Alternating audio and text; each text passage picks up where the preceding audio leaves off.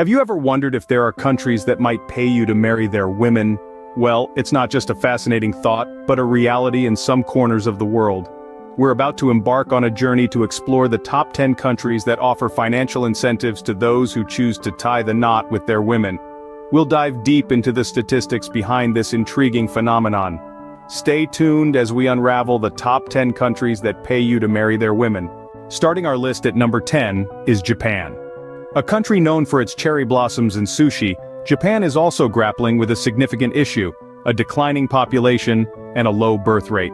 As the years pass, the number of people in Japan continues to shrink significantly.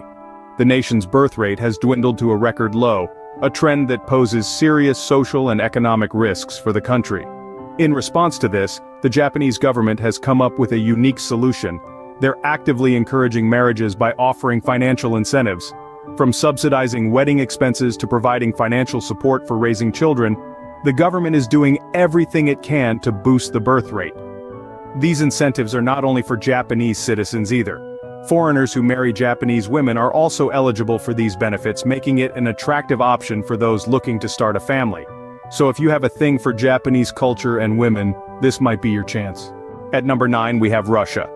This vast country is known for its rich heritage, stunning landscapes, and a particular demographic peculiarity. It has a significant gender imbalance. For every hundred women there are only 86 men, this disproportion has compelled the government to take some unique measures. In a fascinating bid to rebalance the scales, the Russian government is offering incentives to foreign men who marry Russian women. They're not just talking about cultural enrichment or the chance to learn Russian, we're talking about financial incentives. Yes, you heard it right. The government is ready to offer substantial financial support and even tax breaks to those who help in its demographic mission, so... If you've been dreaming of a Russian romance it might just be your lucky day. Not only would you be marrying into a rich culture but you might also end up with a little extra cash in your pocket. In Russia, love might come with a bonus. Vietnam ranks 8th on our list. This Southeast Asian nation, known for its bustling cities and picturesque landscapes, also offers intriguing economic benefits for foreigners who choose to marry Vietnamese women. The Vietnamese government, in an effort to encourage international marriages, has implemented a series of financial incentives that are quite compelling. For instance, they provide tax deductions and housing subsidies, which can significantly reduce living costs. Moreover, the Vietnamese government also offers employment assistance to ensure a stable income stream for the newlyweds. In terms of numbers, foreign grooms marrying Vietnamese brides can expect a reduction in their tax liabilities by up to 20%, and housing subsidies can reach up to a whopping 50%.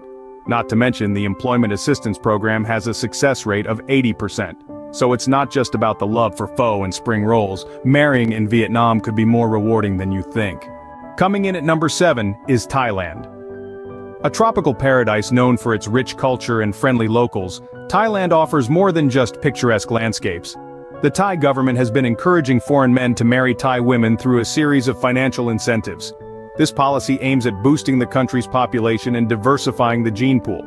According to recent data, men who marry Thai women can receive a dowry, a traditional practice in Thailand.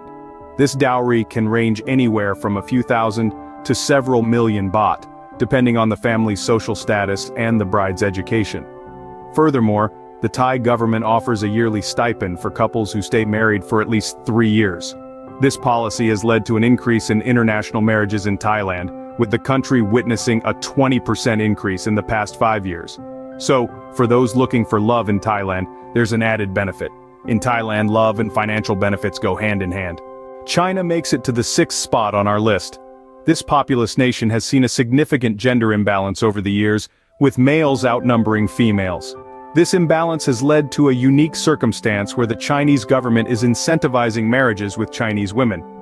To address this imbalance, the government offers a range of benefits for those who choose to marry a Chinese woman.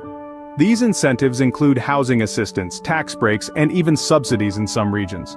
China is also home to a burgeoning economy, which adds another layer of appeal to this arrangement. Statistically speaking, for every 100 females there are approximately 115 males. This imbalance has led to the creation of these incentives, aimed at encouraging more marriages and ultimately, a more balanced population. The incentives are a strategic solution to address the demographic challenge while offering substantial benefits to those who choose this path. In China, marriage could offer more than just companionship. India secures the fifth spot on our list. This vibrant and diverse nation is home to a long-standing tradition known as the dowry system.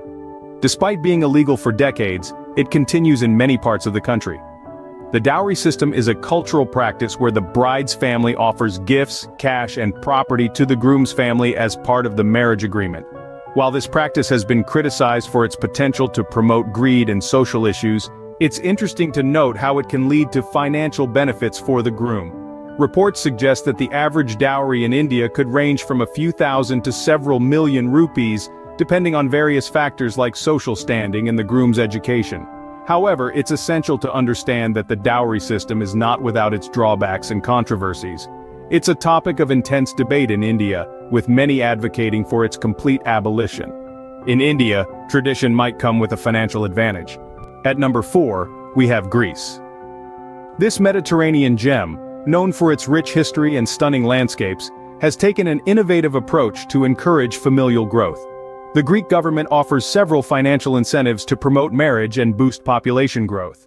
A significant initiative includes a monthly stipend of nearly 200 euros for each child born to a married couple. This scheme, aimed at combating Greece's declining birth rate, has been active for several years now. Moreover, the government also provides a one-time tax-free grant of a thousand euros to newlyweds to support their new life together. These incentives, coupled with lower tax rates for married couples, make Greece a country that truly invests in matrimonial bonds. In terms of numbers, these initiatives have led to a notable increase in marriages. In the past five years alone, Greece has seen a 10% increase in marriages. In Greece, marriage could be a path to financial stability. Italy makes it to the top three on our list. Known for its romantic cities and charming countryside, Italy is facing a significant population decline. The Italian government has responded with a unique solution, incentivizing marriage and procreation. The country's population has been steadily decreasing, with a decline of over 100,000 people in the past year alone. To combat this, the Italian government offers a range of incentives for couples to tie the knot and start a family. These include tax credits, subsidized childcare, and even cash bonuses for each child born. The government has allocated billions of euros to these initiatives, hoping to boost the country's birth rate and stabilize the population. And it's not just for Italian citizens. The incentives are also available to foreign couples who choose to settle in Italy, making the country an attractive option for those looking to start a family. In Italy, love and marriage could come with a financial boost. South Korea comes in second place. Known for its vibrant culture and technological advancements, South Korea is grappling with a significant demographic challenge, a low birth rate. As the birth rate dips to one of the lowest globally, the government is pulling out all the stops to encourage its citizens to marry and start families. In an attempt to reverse the trend, the South Korean government has rolled out numerous incentives. These range from housing benefits to childcare support and even direct cash incentives. For instance, a newlywed couple could receive up to 7 million won, which is roughly $6,000 just for saying I do. The government's efforts seem to be paying off. Recent statistics indicate a slight uptick in the marriage rate giving hope to a nation eager to secure its future. So if you're planning to walk down the aisle, South Korea could be the place to do it. In South Korea tying the knot might come with an unexpected bonus. And topping our list at number one is Singapore. Known for its impressively high standard of living, Singapore faces a peculiar challenge, a declining birth rate. To combat this, the government has rolled out a series of considerable financial incentives aimed at encouraging marriage and childbirth. For instance, the Baby Bonus Scheme offers cash gifts and contributions to child development accounts, which can amount to a substantial sum. Moreover, there's the Parenthood Provisional Housing Scheme, which provides affordable interim rental flats for couples awaiting the completion of their first housing. Additionally, Couples can also benefit from the Proximity Housing Grant, which encourages married children and their parents to live close to each other for mutual care and support. This is in line with the traditional Asian value of filial piety. With such lucrative incentives, it's no surprise that Singapore takes the lead in this unique category. In Singapore, marriage could be a financially rewarding decision. There you have it, the top 10 countries that pay you to marry their women. From the enchanting east of Japan and China to the vibrant cultures of Greece and Italy, each offers a unique blend of tradition, incentives, and opportunity. Delve deeper into these countries, their customs, and the fascinating stories they hold. It's a big world out there, full of possibilities. Remember to like, share, and subscribe for more intriguing content like this. Until next time, keep exploring.